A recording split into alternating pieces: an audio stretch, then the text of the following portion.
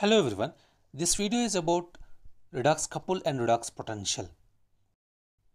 In one of the previous videos that is introduction to the biological oxidation and electron transport chain, we discussed that the energy in the foods is extracted in the form of electrons. And these electrons they enter into the electron transport chain and due to their flow in the electron transport chain, energy is released. This energy is used for the synthesis of ATP. Here, the concept of this video is why these electrons are moving in a particular direction and what decides their flow in the electron transport chain. And the answer is it is because of redox potential. Now we'll discuss what is redox potential and redox pair in detail. Now coming to the meaning of redox couple or redox pair, when a substance exists both in the reduced state and oxidized state, the pair is called as redox pair or redox couple. For example, NAD plus NADH is a redox pair or redox couple. So in this pair you can see NAD plus is the oxidized form and NADH is the reduced form.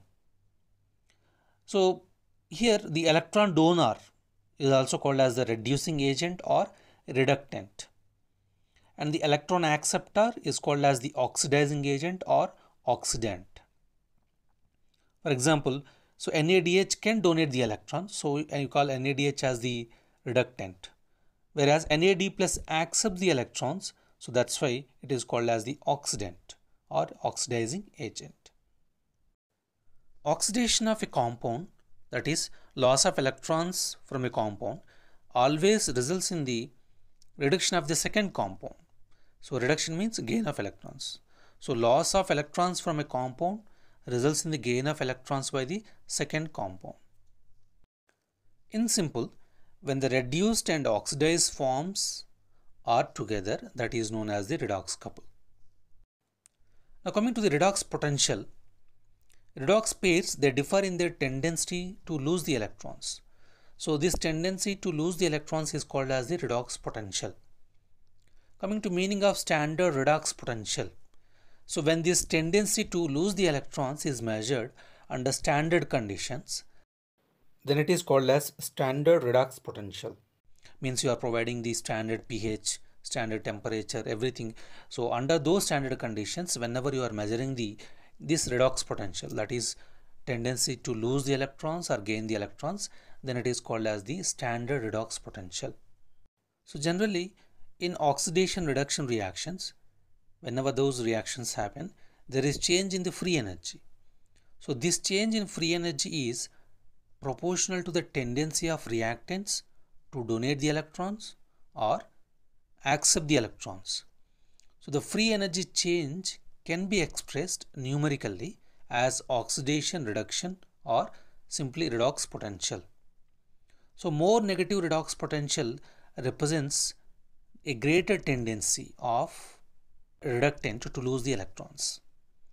Whenever you say positive redox potential, it indicates greater tendency of a oxidant to accept the electrons. Always electrons will flow from a redox pair with more negative redox potential to another redox pair with more positive redox potential. Now coming to examples of some redox couple with their redox potential starting with NAD plus NADH pair, their redox potential is minus 0.32. And coming to the last one, that is oxygen and water, its redox potential is plus 0.82. And the remaining pairs, they have the redox potential in between these two. So when you see the examples, the redox potential of NAD plus and NADH pair is more negative and oxygen and water pair is more positive. Now the electrons will move from that more negative pair to the more positive pair. So that's why the flow of electrons in the electron transport chain is unidirectional. That is, they move from NADH or FADH2 to oxygen.